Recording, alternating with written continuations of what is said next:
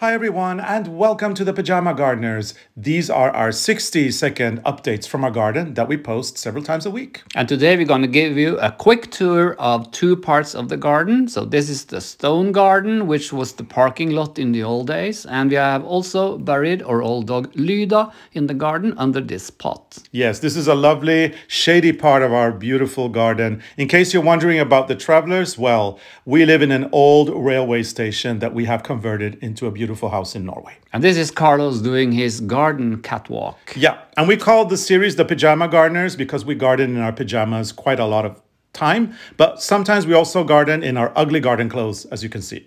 And now I think the front garden looks really good. You have removed all the weeds that were growing in the pathways. Yeah, and it's looking very beautiful. Yes, Perfect does. for breakfasts in the morning and drinks in the evening. Bye. Bye.